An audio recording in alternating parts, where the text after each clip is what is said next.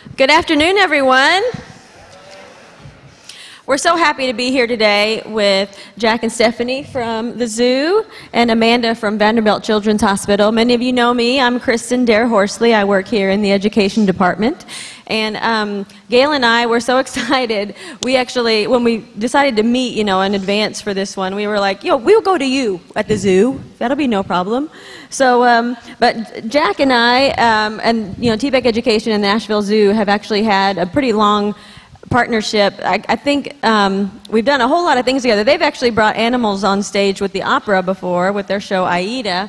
Um, but we, the first time The Lion King was here, all those years ago, we decided that we would like to have animals here at TPAC in the lobby and whatnot. And so surprisingly, they actually do that kind of thing. And so they, for our gala, they brought animals, and they were in the lobby with like a snake and a parrot and a big cat and some other things, and that was fantastic. And then we also found out that they have a wonderful education program, and so we actually had workshops where we would take students and children that were coming to see shows like The Lion King to the zoo and have wonderful workshops there. So we have a long time partnership, and anytime we can work together. We're happy to do it. And um, we actually worked with them last year. We did for their uh, zoo staff that does the, the shows there, the animal shows. One of you know, the wonderful Laddie Brown, who moderated last month, you all know her. She did an acting class for them, and um, that sort of sparked the idea for us to bring them back for a lunchbox so that you all could learn about the wonderful education programs that they do at the Nashville Zoo. And of course, um, our Vanderbilt connection today. The zoo actually once a month takes animals to the Vanderbilt Children's Hospital, and so we're going to talk about that as well. So let's welcome the panelists today, and we're just going to go ahead and start with uh, with Scarlett over here, that's sitting very nicely with Miss Jack. I'm going to stand up with Scarlett over here because she needs her own microphone, but. Um, there we go. Can you, can you say hello to everybody? Can you say hello? Yeah, there you go. So she does talk. Um, but uh, we are very happy to be here today. And one of the things that Kristen talked to me about was um, how we do performance at the zoo. And of course, we do performance with animals in our education uh, educational shows and other offerings that we have. So Scarlett is a bird that's been with us for a very long time. She's actually in her 20s. She's a scarlet macaw, and they're from the rainforests of Central and South America. But Scarlett, uh, Kristen asked if we could kind of do an example of some of the performances that we do. So Scarlett a lot of times starts a show, and so we have her come out and start with a great big wave. There you go, good girl. And of course you heard her say hello, but she also says hi. Can you say hi? Hi. Yeah, hi. and then of course she does like to tell people her name. What's your name? Oh, you've got a mouthful, sorry. What's your name? What's your name? Scarlett. It's Scarlett, that's right. And uh, you, you're pretty, you're something else, aren't you? You're pretty funny. Yeah, you're a pretty funny girl. Now, she also does a few other things. She likes to do some dancing, do a little dancing. She, she offered that behavior one time. She actually naturally does that. Um, we listen to the radio while we're working because not only do we get to do wonderful things like this, but uh, Stephanie and I also and our other coworkers uh, do all the cleaning and the feeding of these animals and take care of them and train them. So um, we listen to music. And when we were cleaning one day, uh, we were listening to a station that was playing a variety of music, and the song Respect by Aretha Franklin came on. And I turned around, I'm not kidding you, this is the truth. Scarlett was doing this. So I ran over and I gave her a treat, and then we put it on cue. And um, that's how we're able to get these, these things. Um, macaws naturally mimic and imitate each other in the wild. That's how they learn from each other. So when they've been raised around people, they naturally mimic and imitate us. And not just in what we say by saying hello and things like that, but also doing those movements. But Scarlett does all these things on cue, and she knows she gets a great treat when she does a good job. But she does a couple other things. Let's see, I'm trying to remember what else her cues are. I'm used to doing a show and kind of rolling with it. So I have my little script in my head, but we're a little off today. Let's see. So we said hello and hi. And oh, when you really like someone, don't you give them a big kiss? Give them a big kiss. Yeah, that's a good girl. And uh, let's see, I'm trying to think if there's any cues I forgot that you do. Everything we have is either a vocal cue, like she hears a word I say, or I do a little hand signal. I think the last one actually is the one we always end on, and that is wave and tell them bye bye. Yeah, that's a good girl. So she did a very good job for us today. I think she was a good girl. I'm going to go ahead and put her up.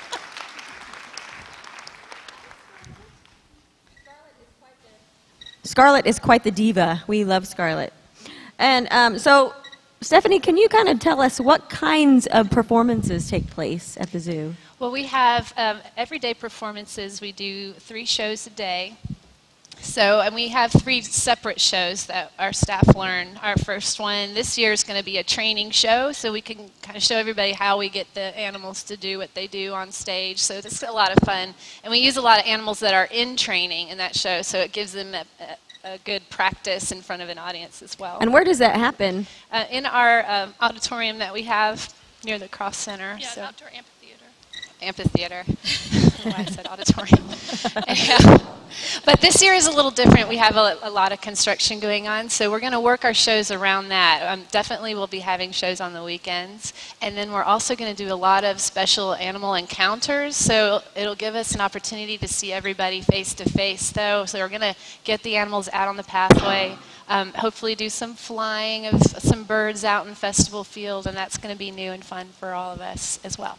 Excellent. And you take animals out. Like to, what, what you're doing today is kind of part of a program called, what is that called? Well, it's we have our Wildlife on Wheels, which has an ambassador program, which this would be, and then also we do school programs.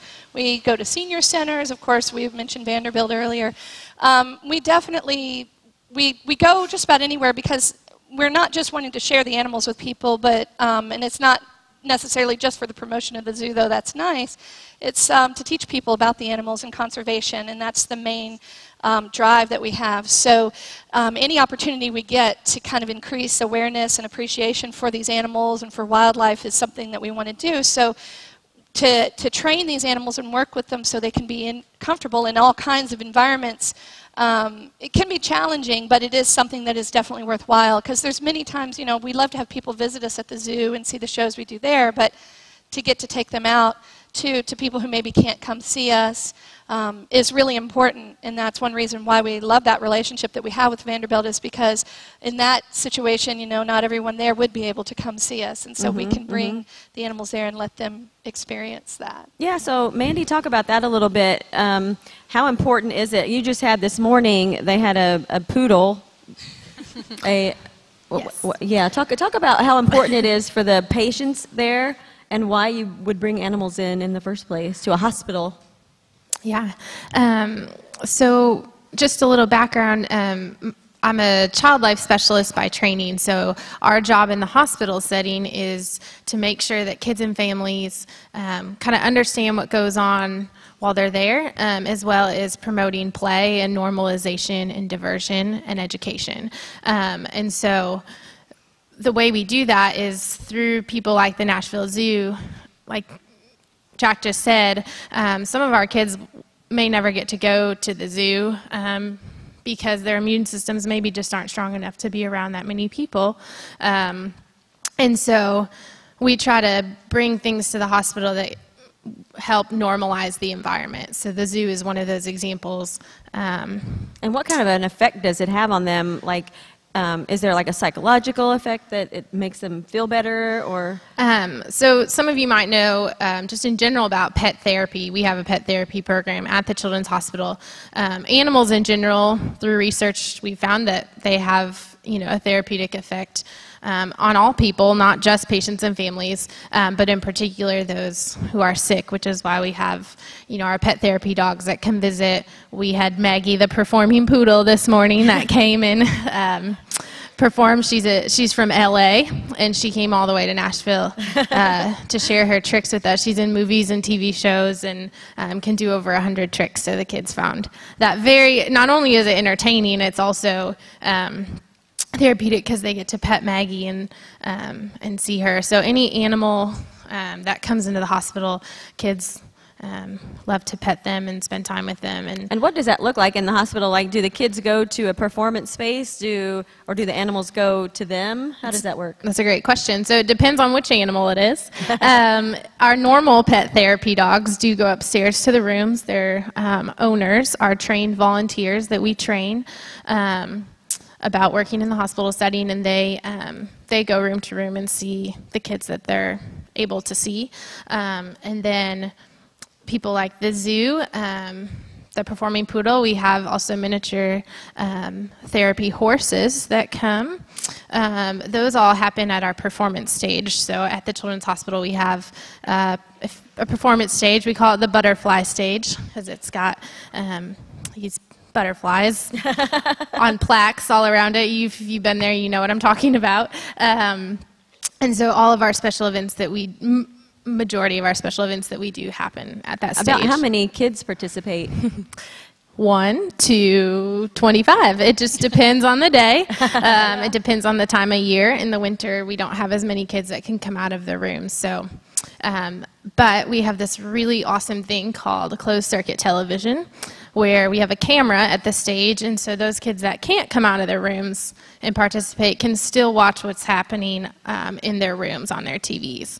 Um, so that's a really awesome feature that helps those kids that can't come out still participate um, in special events. Oh, that's really cool. So, do you like? Do they? Um, do you announce what animals are coming, or so do they just like show up in the kids' rooms?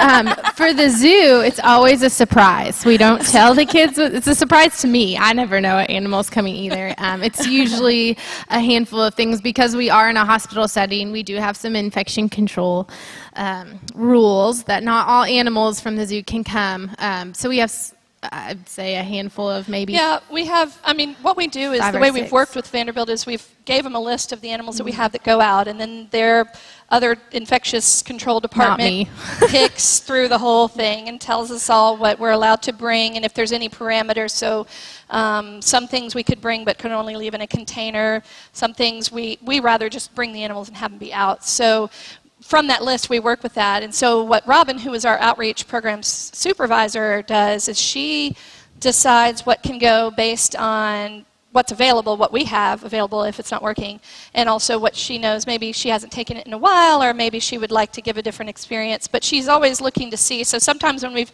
turned things in and we've asked them and they've said no, and then sometimes later we're like, but please, we sent like a picture of the really cute animal and be like, really? You know, sometimes, you know, they, they make changes, but most of the time it's, um, it's animals that you know are the lowest risk and then some things they say it's okay to let children touch these animals sometimes it's not and so um, we, if, if there's not a huge group and we can allow them to have that contact experience, we will do that.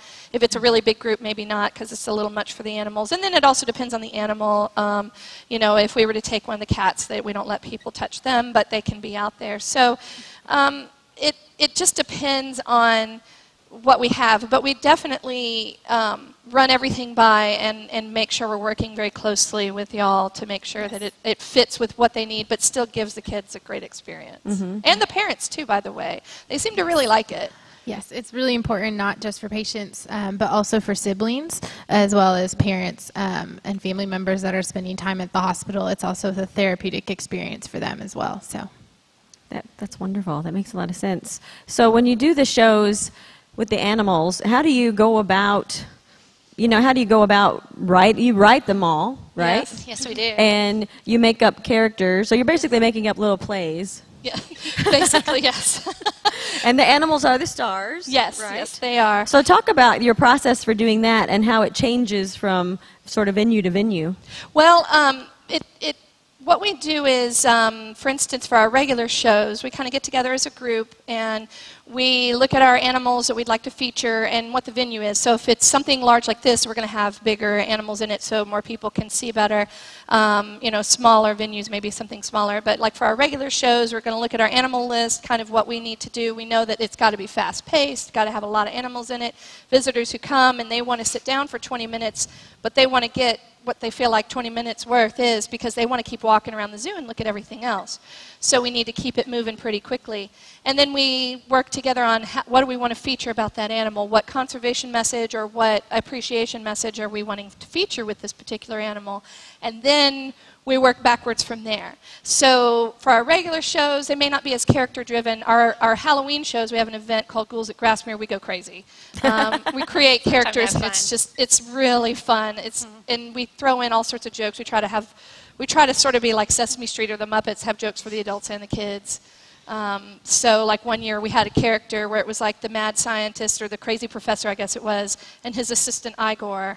And we felt like that was good for the parents who maybe watched Young Frankenstein, you know. Yeah. But um, you know, the kids just thought it was funny, you know. And and so we we have we do that, but then when you're working with animals, you have to keep it pretty loose. So yeah, we do write things. We may write a few lines and say we definitely want to get this line in, but um, you have to be really good at improv when you work with animals and then also children in an audience and uh, random things can happen and you just you never know what you're going to be dealing with That's right, because everybody's dressed up in uh, superheroes and you know you don't know what the animals are going to sing. Audience, you know, yeah for the halloween event but even the regular shows you know and then That's when true. robin goes to programs she writes um, her programs for outreaches can be anything from a very you know loose informal like is done at vanderbilt to um, a more formalized education program that meets curriculum standards so we also have to make a match with all the curriculum and, and the teachers have to justify bringing this in there so she'll have some theatrical pieces like dressing kids up in costumes and things to match the animals but not necessarily having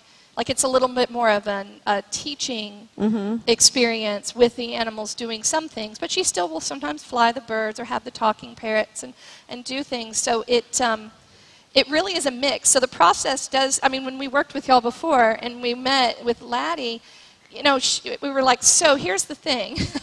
we're not just writing shows, we're not just performing, we've also got animals. We also need to have a conservation message. We also need to know that we're working with all ages, everything from infants to senior citizens. And um, so, what can you do for us? so, it was a process. Yeah. but she So- helped us a great deal. Let's, if we can bring Miss Jane out, and you Yes. could Oh, yeah. show us an example of what one of those shows might be. Yes. And I don't know how many of you have been to their ghouls at Grassmere at the zoo. It's really fun, and um, I actually um, um, volunteered last year. I, I was in, I was in the alien autopsy room, and um, I actually had kids like. I had this big alien, and he had a bunch of worms in there. Uh, They weren't real, unfortunately, but and all the kids got to put their hands in the worms and stuff. It was really fun. Yeah, and we one of the things that we realize is very important for us. Um, we're all about people making connections with the animals, and, and a lot of research has shown that when people make a personal connection with something, then they kind of become more involved with it. So we want them to make a personal connection with these animals, and then take that personal connection to being more involved in conservation and such. And and everyone who works in this business, I know Stephanie definitely has these same kinds of stories that I do of growing up, how we can we can really narrow it down to that one experience maybe in our lifetime that helped us make this connection. So Jane is a great example of an animal that we use for audience participation because a lot of our shows and our educational programs we do try to bring an audience member up or several or have some kind of participation moment so that people can make that connection even on a personal level and we do name our animals and all that so Stephanie can take over from here. Let me tell a little bit about Jane. yeah. So Jane's a silvery-cheeked hornbill. Are you nervous? It's okay. Now she'll let us do this, and we do use her on Animal Ambassadors, and, and she is one of our touchable animals. So we let um, public touch the back of her. So it's kind of a unique experience for them to be able to touch a hornbill like Jane. And uh, silvery cheek hornbills are from the mountain regions of Africa, and she's very special because she's one of about 65, we, we think, in captivity. That's all that there is in captivity here in North America. So it's pretty cool that we have her at the Nashville Zoo. She's so friendly today. now, what she's showing off is her beautiful beak. She's got the huge casque on top. Um, their beaks are hollow, and the casque is thought to help amplify the sounds in those mountain regions of Africa so that they can call and hear each other. Um, but because of the unique shape of her beak here, she has a very unique way of eating food. They're uh, frugivores, they eat lots of fruit. They also eat insects. And so what they'll do is they'll pick that piece of fruit and they kind of have to toss it back and then swallow it. Um, they'll even do this when they drink water. And in the mornings when she's drinking water out of her bowl, she kind of dips her beak in and then tosses it back. It's kind of neat to watch. and in the wild, um, they do live in, in pairs, and the couple will help the, the males like feed the female. So what they do is they'll pick that piece of fruit and they'll toss it to the other, and then they eat. It's really kind of sweet. Uh, I wish I could show that off, but uh, I kind of need help from you all to be our uh, hornbill today. I need a volunteer that'd like to come up here and be a star today. Somebody Anybody done with their lunch and like to help? Yeah, I see There's a hand hand right over there. You look so excited. come on up here. I think there's stairs on the side. Here we go. So this is what we do in our shows as an audience participation. Um, it's nice to include our audiences up on stage too. It's a lot of fun. So what we're going to do is we're going to use some of Jane's favorite food, which are grapes. Are you good at tossing things? Not really. now you have to use your mouth like a like a hornbill. Just teasing. Okay, I've got a couple grapes here. that would be kind of fun to watch, though. okay, and we're kind of out of practice. We've been, we've been, you know, inside over the winter and um, hasn't had a lot of warm weather to go outside and try this, so we'll see how it goes. Yeah, let's start kind of close. I'm like pushing it for us. Let's do a nice underhand toss on the count of three. She's ready. Are you ready? She's kind of watching. You look kind of, okay, ready? One, two, three. Ta-da! Yay! Rejected. yeah, that one was not very good. She's very picky about her grapes. All right. Well, should we try another? Do you want a different one? Yeah, she was like, that one was just not good. Let's try a really far toss. It's going to be awesome. Okay, ready? Right, watch over there. Are you ready? One, two, three. the light got in her eyes. Okay, we got one more. We got to back up. oh, it's a squishy one. She's. I already know she's going to toss this one out. She's like, that one's not getting it. Let's try one more time. One, two, three, and. yeah, she saw it from a mile away. She's like, that's mushy. I don't even want it. Let's give her a nice volunteer round of applause. Can't believe you don't want your grape today. All right. oh no, grapes are gross. Yeah. Now she. You, that, this also shows that with training, we actually you would think that training a bird to catch something it likes would be easy. Um, actually, we have to give her another reinforcement. She likes to be scratched on the head because what if she's not hungry? Then the grape just flies right by her face. so um, that also, but it does give us an opportunity too. We, we, I learned something from an actor years and years ago that said if you can't fix it, feature it. so they said in the shows when the animals do something weird or something strange happen, or they don't do what they're supposed to do, we do try to put that into play. We don't ignore it and act like it, nothing happened because you know, it's hard to hide that. yeah, yeah. I mean, because these animals are different than like the poodle. That was that's kind of a specialized training. That's what that dog sort of does for a living. These are wild animals still Yes. that you want them to maintain that wildness as well as being trained, right? yeah, it's it's sort of a balance because we're not wanting to show them like they're like pets. You know, they are wild animals, so we're featuring their natural behaviors. But also, they do need to be trained and have that human-animal relationship, that bond with the trainers, to be able to work in this environment because it's not necessarily you know, a normal thing for a hornbill that may only live with one other hornbill to be in front of 300 people. Yeah. So they need to be bonded with us and close with us so that they're comfortable with us, but also we train them to go in and out of the crates and they're comfortable in there. We train them to be in these different environments to focus on us. Um, and then sometimes they are more comfortable in their regular place. So, like, we have some animals that will only work on the stage at the zoo and they won't travel. And that's fine, that's their choice. And we make it about the animal's choice. It's not like we can force them to do stuff, make them do that. They get to choose. And so, sometimes even today, you know, we're thinking about, like, you know, some of the animals we have today. It's like, I wonder if the last one's going to come out. So, we'll see. um, but um, it is his choice, you know, and, and that's the way you do it. So, it's a positive reinforcement, positive experience for the animals. But it is a lot to ask of them as a wild animal, different from a dog that's domestic and raised for this and all that. So um, that's another challenge that we have when we're trying to do this. And, and um, you know, but it, it, it makes it a lot of fun. I think all of us who work with the animals and do this love animals. We love being able to share them with people. And we're sort of the outliers in the animal care world because most people who get into working with animals do it because they hate people. so, no offense. But um, uh, so, getting out in front of people, if you ask most zookeepers to get out and talk in front of people, it's like asking them to, you know, stand in front of a group naked. It's the worst thing ever. They hate it. uh, some of them are not so bad. The years have gone by, they're not quite as bad as they used to be. But it is, it is a very aversive experience for most of them. And so, your job is actually unique even at the Yes. zoo, at the zoo yeah, for so sure. we're, we're the weirdos. I mean, even the We are zookeeper kind of the friends. misfits. They think we're strange. Yeah, because of that. But I mean, it's what we love to do. So it's the opportunity to get to share the animals with people and to share our relationship with the animals. And it is unique. It is our job. Mm-hmm, So, like we were talking earlier about uh, working with the animals, it, it, may look to people like it's easy. You just pick up a parrot and get it to talk, no big deal. But we're with them eight hours a day. This is our job. I'm spending more time with this parrot than I am with my husband and son. So it's going to work well, hopefully. Fingers crossed.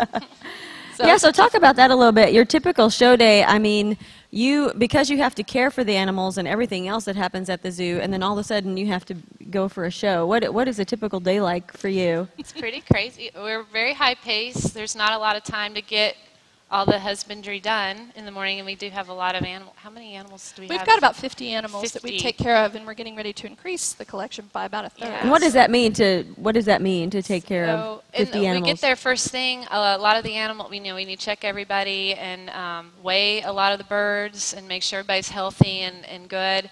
And then it's a lot of cleaning. We just get to work with that. We got to make their diets for the day. Yeah, wash dishes. Wash dishes and scrub and, and squeegee, squeegee and hose, and uh, and then we're all nice and sweaty to go do a show. so we have a changing room. we have a little curtain we pull aside, and we you know we all kind of powder up and and uh, wipe the sweat off our faces and brush our hair, and then go out and look like we haven't been cleaning all day. yeah. And that goes on. We have three separate shows, so you know it takes 30 minutes to set up a show. So if we start setting up at 10:30, so cleaning has to be done by 10s, and start setting up at 10:30. Show at 11 to 11:30. Break down everything. We have to transport all our animals to and from the amphitheater to our building, so that takes some time. So the time you get all the animals back from the first show, it's time for the next show. And it's just uh, back and forth for the rest of the day. Wow. You have a little bit of time, and like this morning, for instance, you know, come in, clean. You know, I was doing some running around paperwork, and then um, we got dressed, we got the animals loaded up, and we had to take an animal up to the vet clinic. So on the way out, we dropped it off at the vet clinic, and then just kept driving. And they're like, "When are you going to be back?" We're like, "When we get back." Bye. You know. So it, it does, it's definitely high pace, but I mean, we love it. And then even in the wintertime when we're not doing the performances, we still are keeping busy with keeping the training going and, and projects and things we didn't get a chance to do in right. the summer. Where do you do the training? Wherever we can. Wherever we can find space. Most of it does take place in our building, but we like to take over our croft center where they have like conference rooms and we'll go in there and there might be a lynx or a, a crow or something random in there. And that's always fun for visitors to see because sometimes you'll see people walking yeah because we went there the other day for the meeting i would you know it's always interesting to be there and to go into the room that has all the bird i mean because they're they're really close together and in there yeah. you know and it is loud in there. Yeah. Yes. it's it's kind of amazing how close they are they are, are together. So i was kind of wondering where you did take them out for training. That's yeah and sometimes just out on the in in the zoo in different areas we'll do the training and like our front desk person too is used to us just like walking down the hallway. It's time to practice letting the Seriema, which is a big bird, walk down the hall, and she just kind of laughs. And you know, it's just you, you, know we laugh and say, well, it's a zoo. I mean, you came to work at a zoo, so they are. so talk about some of the audience responses to the to the different shows. Like how do the, how do you have an audience range? Yeah, from yes. infants on up. It's all ages, really. Yeah, I mean we have everything from infants. It's surprising. Infants really love vultures and, and I, it's anecdotal, but I just, I mean, isn't that true? They just seem to, I don't, I think they can watch them fly, and they seem to really plug into that. But um, I think we're always looking for that wow. I mean, people, we want them to just be like, whoa, that was something either they'd never seen or they really enjoy it. I don't know. We, we have, um, it's hard for us, though, as performers. We know it's really hot outside on those days when it's almost 100 degrees and the audience is like this.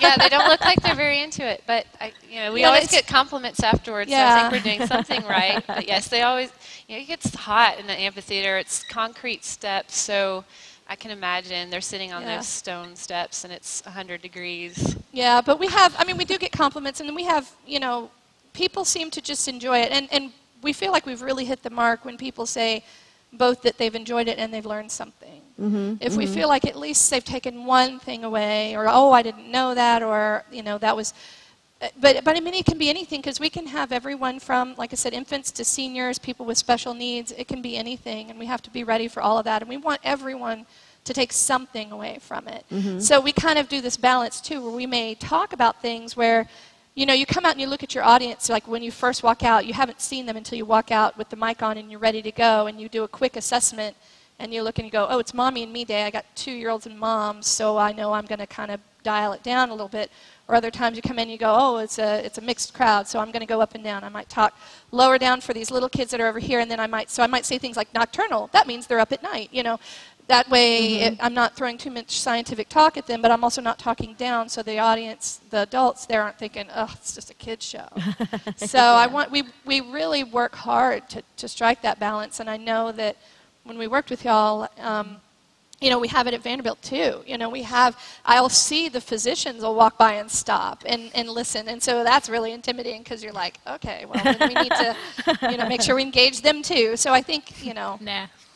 I always Okay, tell them to get back to work. this is not for you, it's for the kids. I know, I know. It's really hard, really hard to keep staff away. Yeah, they do come. I see Yeah. them. I see them come up. They kind of creep around the edges and look in. Yeah, they try real hard. So what? Yeah, what do the kids do? Like, uh, do they? Are they able to, you know, move forward and touch them? And I mean, how, how does so, that actually So work? Robin does a really great job. Uh, she's so good with our patients and families. Um, and she uh, makes sure that so some animals like they said these are wild animals this is not your cute little poodle that does tricks and so some animals don't like to be picked up or um, have a shorter attention span um, and we really try hard for you know every kid that comes down there that generally it's an animal they can pet that they get a chance to pet it and some kids can't can't physically um, go up on the stage to pet the animal. So we'll let you know all those kids that can go pet the animal Sorry, I, You're I This is really one stealing of your- my I'm thunder. sorry. Let me say, You and, Ma- just and stole Mandy, her thunder. and Mandy, this is one animal that you know very well. is it Fezzik? It is. Yes, I He's love very popular with Vanderbilt. Yes, He's he's a um, very popular, um, well known. Fezzik not only comes on hi on our Nashville Zoo days. Fezzik also comes for our Easter party, which is a big hit. Um, and he's shedding. I'm sorry. A little bit. and he sheds a lot. Yeah, yeah. Now, Fezzik is, um, and we were going to give an opportunity since you were talking about people being allowed to touch them, and I thought, I don't know if you want to bring the Purell. I came off without it. I'm sorry, Stephanie. Can you bring that for me? Oh, we yes, thought maybe sorry. maybe about 10 people could get a chance to come up and pet him. He is shedding, so just so you know. But if you want to come up and touch him, and you can touch him on his back, and this is part of the experiences that we do too. So he um, he's pretty friendly. Just don't touch him on his nose or his ears. But um, yeah, you can. His sister, um, Robin, our outreach um, supervisor, also does pet therapy in her volunteer time, and she um, actually will take his sister, who is bigger than he is, um, to uh, lots of different places. And she's gone to the cancer clinic at Vanderbilt with him, with, or with his sister, who's named Patty. What kind of what kind of rabbit is he? He's a Flemish giant rabbit. This is a domestic species, and if you've touched him, if you'll use the Purell, please, because we want to make sure you stay nice and healthy. It's all about uh, keeping clean. We love hand Um, sanitizer. He does look much like a homeless bunny today, but uh, trust me, he is brushed and taken care of. but um, it's rough when it starts to warm up. You got to shed. But he, he is uh, um, really good about um, meeting people, and then when he's done being touched, he will hop away. Um, Or he'll give you the angry ears, and that's the sign. yes. Walk away. Angry away ears the are one ear down, one ear to the side. and that really does tell us a lot. It, it's, it's part of understanding his body language, but that is something where it's like, you have pushed it too far, I'm done with you. And did you name him Fezzik from from yeah, the Princess from Bride? the Princess Bride. Yay. Yeah. we were like, okay, a Flemish giant rabbit, and we're like, okay, the Flemish artist, and we're like, oh, no, none of those names are good. and, and they were like, well, where else could we kind of look into names? And then, you know, we just, we kind of started thinking of Andre the Giant and went that direction. And that's part of what we do. We try to name the animals sometimes too. It is for fun for us, but also to help foster that connection. So if people can think, oh, that's from The Princess Bride, I love that movie, and then they remember him, and he is kind of unforgettable no matter what his name would be, but they, um, they seem to really, it, it helps them make a connection. So um, some people, you know, don't like to anthropomorphize. They don't like to put human traits to animals and stuff, so they don't want to name them, and they want to keep them dignified and all this. Well, our job is to foster connections, and so names are part of that. So our personal philosophy at, at Nashville Zoo and also in our department is it's okay to name them. That's And how do they humans do relate. they know their names? Yes, and that also helps with training. So we call Fezzik, and he comes in if he wants. Um, I use magic lettuce. That always works. yes, lettuce that flies across the stage. Sometimes when you forget things on stage that you need for the animals, someone backstage will kindly throw it at you. so he had, we needed some lettuce, and one day it just flew across the stage. The magic hand. So yeah, he's, but he's a very popular, and he does, as you would imagine, a lot of different types of things. So he's good because he's big, he's good for shows, but he's great for those smaller programs, and he's so well trained to sit. He has a yoga mat that has a rabbit on it, and he sits on that, and that's where he knows he's supposed to stay, and then he, um, he just hangs out there. I mean, he's just, he's a phenomenal rabbit, and um, has really been a great, great addition to the zoo. And um, a lot of people think, oh, just a domestic rabbit, it's not exotic, but for some people where things like Jane, you know, the hornbill might be a little bit weird to make a connection with. It's just a weird looking bird and it's just hard to relate they'll relate to a rabbit. we found a lot of seniors really seem to connect with them too. Um, it reminds them of childhood and stuff. So, um, and especially those who maybe have some form of dementia. The, anything exotic is just they just don't connect with, but they see something like the rabbit and they light up and it's just a whole different experience for them. So it's really cool. So how did you get Fezzik? How do you get the animals at the zoo? well, it depends. Fezzik, we'd been looking for a breeder for years. We actually were looking into a rescue, but we couldn't find one at a rescue. So um, we we found a breeder in Knoxville, and we went and got him from there. Um, but a lot of the animals, we some of them are former pets. Scarlet was a former pet. Um, Jane came from a, a exotic animal uh, facility. It wasn't a zoo, but it was a private facility. Um, and um, so it just depends. You know, some of them are born at the zoo, and um, we get them at other zoos. So it, it's a variety of things. And mm-hmm. some of the native animals we get are wildlife rehabilitation animals. So they came yeah. from Walden's Puddle, so like our possums and some of our um, hawks and things. So it, it, just depends. But we do choose, we do plan. We mm-hmm. do a collection plan. And we pick animals and species based on what we know will work, um, what we know maybe that we have experience with, um, and what will also help kind of uh, you know help people maybe like I said make that connection. So mm-hmm. he, we'd had a Flemish giant rabbit on our list for many years before we finally found one. So. but I think he's ready. You ready to go? So Stephanie, you you meant you guys mentioned that you look over you look after about 50 different animals. So do you have the certain section of animals that you look after, and then a couple other people have a section, or do you look after no, all of them? It's really important. Uh, there's five of us that work full time, and we all have to have some kind of a bond with these animals so that they work for everybody. So we all work with everything, and that's so you work with the giraffes too. No, no, oh. no, just in our building. Oh, okay. I wish I love a giraffe, but no, just in the building, and we have such a variety from the parrots to birds of prey to the cats and some little oddball with porcupine or you know those yeah. type of things. So yeah. So who works in the reptile house? I bet are they a strange person? the reptile people. we do joke that come, they are. Do they ever those come reptile out? people. Do they ever come out and do shows like these? Never. they hide from the from the public. the reptile people. Oh, yeah. well, okay. there's a couple that are that are a little bit more about being out in front of people, but it's kind of rare, though. Because you yeah. do have a big snake in your show. We, we, do, yes. Yes, we, we actually had, well, are you thinking of Isabella? The yeah, the, the albino. She actually passed away. Oh, yeah. yeah. She was a favorite. she was very old, and she had some health-related, you know, uh, age-related health issues. Yeah, yeah. So that's a good point. Like, what do you have to check the animals every day, and you can pretty much tell when something's up because you Absolutely. know them so well. And you have a, a veterinarian. Uh, you have a clinic there at the zoo, right? Mm-hmm. Yeah, we have two full-time vets, two full-time vet techs. We have um, two full-time um, hospital keepers, and um, they always have interns, externs. Um, there's a lot of them, and we're getting ready to build a brand new hospital. Um, we're raising money for that um, to to promote the, or to be ready for expansion, because a lot of people don't think about it, but we do have a full vet, you know, clinic. It's got the X-ray, you know, the machines and ultrasound and um, all of the stuff that we need to have their ability to do surgery and all of that, and a lab on site. So uh, we have to do all this there, and we need yeah. to have the facilities to do it. So our vet team um, works very closely with us, and what's great is we have a really good relationship with them.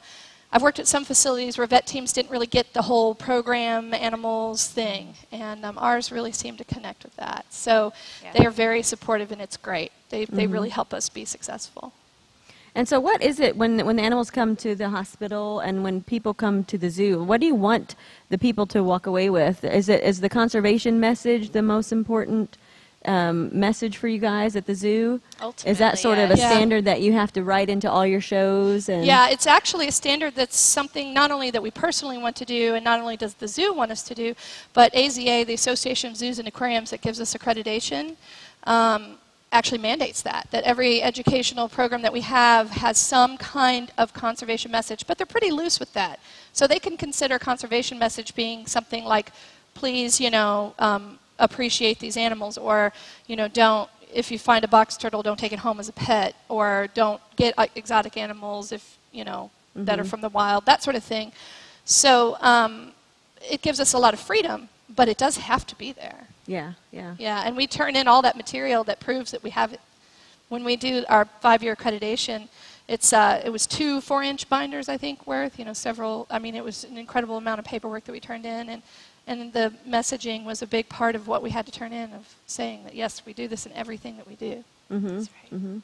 So, but we also are happy when people just connect with the animals. Yeah. So. Well, speaking of connection, do any of you have any questions for these nice ladies before we bring out our final guest? Any questions out there? Go ahead. If you'll stand up and just say it real loud. Does someone have one? Oh, did I see? I see a hand way there. he weighs about, I think the last time we weighed him, he was uh, 16 pounds, or was he more than that, Stephanie? I think, but they get to be about 18 pounds. Patty, his sister, is about 18, almost 20, or maybe she's about 20 pounds. Um, so they're big. Go ahead, up top.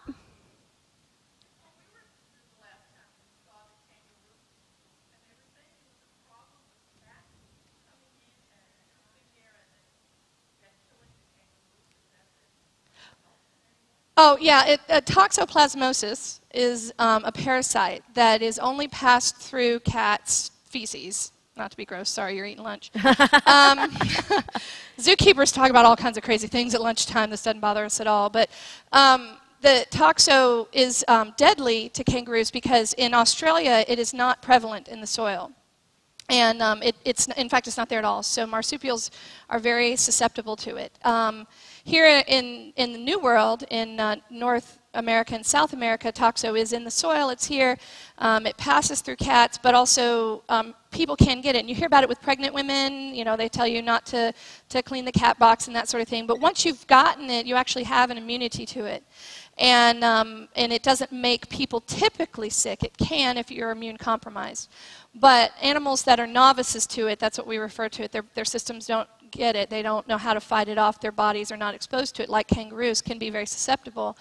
And people dump off their cats all the time at the zoo. They think, oh, it's woods and it'll be taken care of. We have a lot of feral cats. So we do um, try to, to, to control that population by trapping and taking them to animal control. And our vet has a, you know, we, we do humane trapping. We have all these parameters. And, um, but it is a danger to our animals I don't think people think about. And um, so we did have some kangaroos get sick. Um, we actually got the drugs that we needed for them, and we seemed to have staved it off. But um, it was uh, devastating for our keepers, and uh, it was it was just something we didn't really think about um, when we built that exhibit that it would be a problem.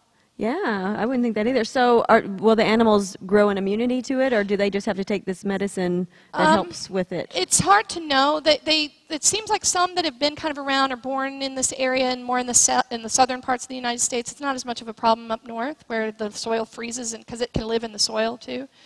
Um, it seems like they do okay. Um, maybe they do better once they're older and then they have babies and their babies are okay. Um, but they don't ever really develop the same kind of immunity we have. So they're on this drug um, right now and we'll see how, how they do. But so far, so good. And then do the keepers just have to really clean the grounds all the time, or? Well, we can't clean the soil. Unfortunately, it's really hard. But also, if a cat gets in overnight or something, so our nighttime security is always checking it, making sure. But I mean, yeah. you know, you yeah. can't have someone stationed there. In fact, we did have keepers that spent the night there all night a couple times, stayed up watching the yard. Yeah. Like, but you can't really do that all the time. Yeah, so yeah. Um, they've tried spraying bleach down, but then you kill the grass. so and it still gets in the soil. So it's it's a difficult process. But actually, this really difficult winter of super super duper cold might have been something that helped us. Okay. Very So. good. Any other questions? Go ahead.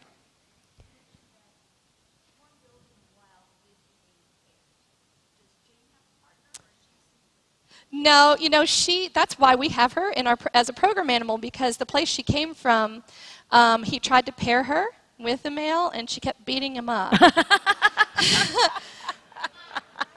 I know. She didn't want a, a, a guy, and so she really was bonded too closely to people.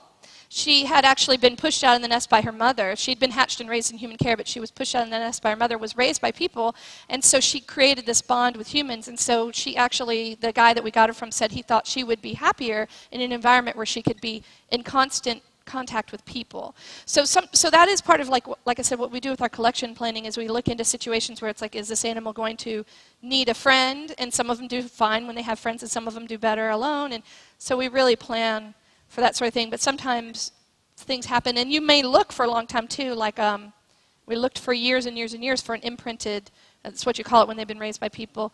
Imprinted kestrel um, which is a small falcon, and it took us like six or seven years to finally get one because we wanted to have it be close with us.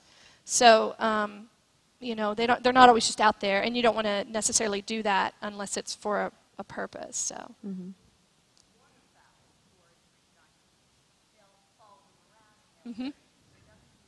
yeah.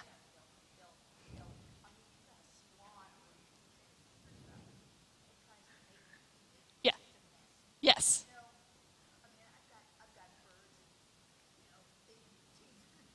Uh huh. yeah, yeah. Well, I, it, and sometimes it depends on the bird too and how it manifests that relationship. So, like waterfowl, kind of get very, you know, stuck on people, whereas Jane just likes to be with us. She doesn't do mating rituals, thank goodness, but but she likes to have that closeness with us. So it's nice, but also it's a bit unusual because she has that relationship with several people, um, and not just one. But we want her to be able to do that. So she's a bit different. So, so who we have sneaking up back here There he is. Uh, he's a is little an example of the kind of animal we can't let you come and pet. Hi, buddy. Come on over here. Beautiful to look at. Look, Hey, it's Jack. This is Blitz, and he's still new with the uh, programming. So he's a little shy right now. He's like, this is a big room, and there's a lot of people looking at me. Why is there a spotlight on me? It's okay, buddy. Hi. But Jack has raised him from a cub, so he is very fond of her, and Come on. You can come up here. It's okay. Come on. she helps calm him. There we go. Here we go. And they go said he was explore. He was wonderful in the programs when he was a kitten, and then he went through those teenage years. That's Yes, the, true. the angsty teenage years. We learned that today. um, he, uh, he, he, he's about, um, he's going to be, what, fo- four? I guess in May. He's going to be He's four. gonna he was be born on the day of the flood in 2010. He is a Eurasian lynx, and um, he, he was born at the zoo, and you can't leave him with the parents because um, lynx are pretty solitary, and they only pair bond, you know, they have their mate, and if you leave the, the babies with them too long, the males will kill the babies. So we knew we had to kind of take him away, um, and we raised him, but because we did that, we knew he'd need to be an animal that um, is either a program animal or go to a facility where he would be with another cat, and we decided to keep him for our programs here. And um, so he was raised for this, but when he got a little older and kind of went through that phase of where he would be pushing his boundaries and asserting his independence from his parents, um, he was doing it with us. and he's about 52 pounds or so, and they do kill reindeer in the wild. They can kill up to a 200 pound reindeer. So you have you kind of do what he wants to do. You don't. He doesn't do what you want him to do. So, as if so, as, if he's part of a program, does he? Is it pretty much just like this? Like, yes, he'll come people out. get to just look Ne- at him and. Yeah, he comes out, he walks out on a leash, and then he goes back up. But it's the nice thing is, is that um, it gives people a chance to sort of see in perspective the size and kind of, you know, um, he's considered a small cat. So when you think about that and you look at him and think, okay, then those And he can kill a 200 pound reindeer? Yeah, they could. hmm my Mostly they'll hunt rabbits and things, hares and and and um, uh, rats and things like that, but and birds. But they will kill Yeah. uh, reindeer. He has huge, huge paws. When they when he spreads them out, it's, they're just massive. And, and he does have all his claws and teeth. Um, so we didn't, you know, we didn't alter him in any way in that way. Um, so he he is very good for us, and but he is still very much a wild animal. So we he we work with him, we train him. He does get treats, though he didn't want any today. And um, we get beef roast. Our commissary department at the zoo, we have full-time commissary staff. You know, we'll call them up. We need some more beef roast, for Blitz," you Good know. stuff. They they treat us wonderful. They allow us to buy the good stuff. His favorite though is a guinea pig. I know. yes. not not alive. Already. Not dead. live. No, no. Sorry, didn't mean to. No, we don't do that. Though he would probably enjoy that. We don't. We don't do that. But he he he's um, a more impressive animal, especially for a venue like this where you have a bigger stage and need to kind of let people see things. But also, we do love sharing these, these predators, talking about how important they are in nature, the things that they do, the roles that they play, and keeping nature in balance. And um, so they're just really important for that. And the thing about talking about the performance piece with what we do, we're in a unique position where, you know, we need to kind of be able to come out there, like we were saying earlier, and look good, present, tell people all this stuff. But the real stars are the animals. And so if we do our job right, people don't remember us, they remember the animal. Mm-hmm. So he's one that it's hard to forget. so, but he presents some definite challenges, but we're responsible to him for his whole entire life. We want to make sure that he is, you know, well trained, well taken care of, and that we have set him up for success long after maybe someone else has taken over the program from us. So everything we do with him, we are always thinking ahead. Every training we do, every single thing we do, is is this going to be working for him when he's 20 years old? Mm-hmm. Um, because he could live to be 20, 25. So if we train him where he's just totally bonded to us and won't work for anybody else, well, that's not a good thing for him because we're not maybe going to be there 20, 25 mm-hmm. years. So. Blitz. Yes, his name is Blitz. Blitz. B L I T Z, right? Mm-hmm. Blitz. Born during the flood. yeah, he was born during the flood, during the storm, so they named him for lightning. We had two animals actually get born during that storm. that uh, I guess it sort of brought on labor for those those poor mamas. But uh, he survived and did fine, and you know there was no damage to his exhibit. He was born just fine, like nothing was going on. It's just the the storm, I guess, kind of excited things. Well, thank you so much, Blitz. yes, and he'll go up when he feels like it. So yeah, he may be yeah, here he'll for a leave while. when he's ready. So, um, do we have any other questions from you guys?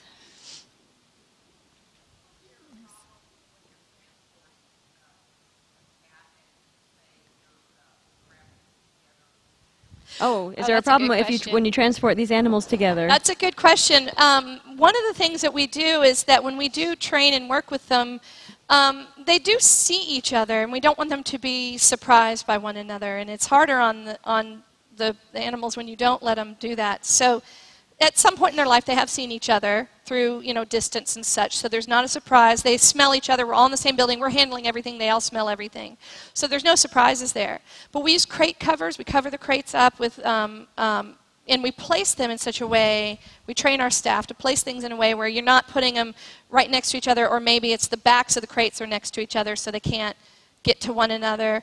Um, you also have to not let, they can't get to the seatbelts or can't get to this or that. But um, having the vehicles, um, you know, having them positioned in such a way in the vehicle where it's safe is obviously ideal. And then, like here, he's on that side, they're over here, they're all covered up, and everybody's nice and quiet. And that's part of the training, too. We do encourage them with positive reinforcement to be quiet when we've covered the crate so they're relaxed and quiet and calm so they're not making a lot of noise. Because it is true, if we had the rabbit and the lynx out at the same time, it would end very quickly.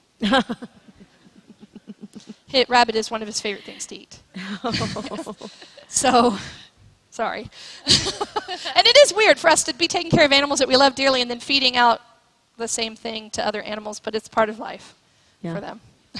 the circle of life. Yeah, very is. much. very much so. Well, um, I want to thank, let's give them a, a big round of applause. We're always glad to have the Nashville Zoo here and to learn even more impressive things about Vanderbilt Children's Hospital, which we're already very impressed with anyway. So um, thank you guys for coming. And if you have any other questions, feel free to come up and ask. Um, but just enjoy the rest of your day, and we'll see you next month. Thank you.